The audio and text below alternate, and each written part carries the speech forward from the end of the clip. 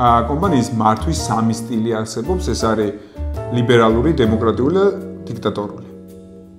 სამივე სტილს აქვს თავისი ეს თქო არსებობის საშუალება, იმიტომ რომ ეს მიდგომები არის არა მარტო ბიზნესში, არამედ პოლიტიკაშიც, ქვეყნის მართლობაშიც და თავის ყველა ეს თქო სტილს აქვს თავისი პლუსები და თავისი მინუსები. უბრალოდ დიდი მნიშვნელობა აქვს იმას თუ რა გარემოში ხდება ამა თუ იმ მენეჯმენტის სტილის გამოყენება.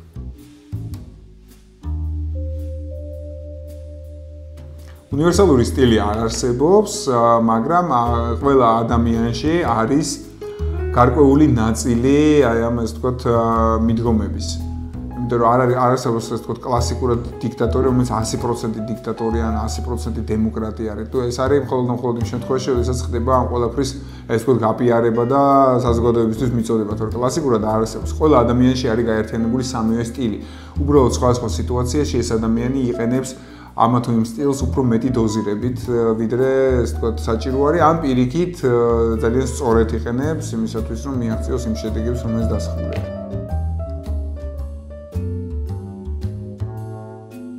სიტუაციას გააჩნია.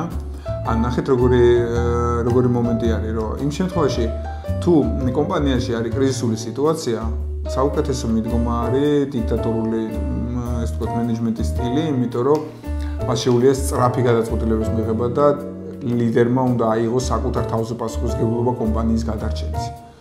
აა ესე თქვათ, დემოკრატიული სტილი არის იმ შემთხვევაში ძალიან ეფექტური, როდესაც ესე თქვათ კომპანია ვითარდება და აქტიური განვითარების ეტაპზე არის. ასე ვთქვათ, ეს შეიძლება იყოს როგორც კომპანიაზე, ისე გუნდზე საუბარი, ხოლო ლიბერალური მიდგომა არის მაშინ, როდესაც დიდი ზრდა არ არის და სიტუაცია, ასე ვთქვათ, დიდად არიცვლება, ან ხდება ერთი და იგივე რაღაცეები კომპანიაში, ან ზოგადად არის სახელმწიფო სტრუქტურაში. და ამ შემთხვევაში ადამიანები ვითარდებიან თავისი პროფესიული თვალსაზრისით, მათ ახალი არაფერი არ ემატებათ, ხოლო ის ძველი საქმეები მათ გამოსდით უფრო ეფექტურად. შესაბამისად, დელეგირების დონე უფრო მეტად იზრდება. თუმცა ეს მეთოდი, როგორც გითხარით, ეს მენეჯმენტის სტილი ეფექტური არის მაშინ, როდესაც ა სიტუაცია ბაზარზე არ იცვლება და ყველაფერი არის ეს თქო ძალიან სტაბილურად არის.